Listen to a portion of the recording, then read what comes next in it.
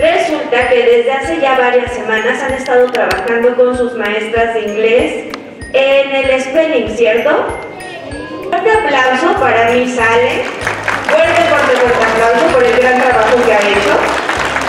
Un gran aplauso también a Miss Mari, que coordina también el taller de spelling.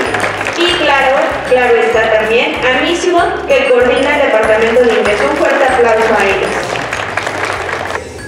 Resaltar el gran esfuerzo de todos y cada uno de ustedes no solamente de estos cinco finalistas, sino de todos los que están formados sobre esa línea amarilla, que se esforzaron, que estudiaron y que dieron su mayor esfuerzo.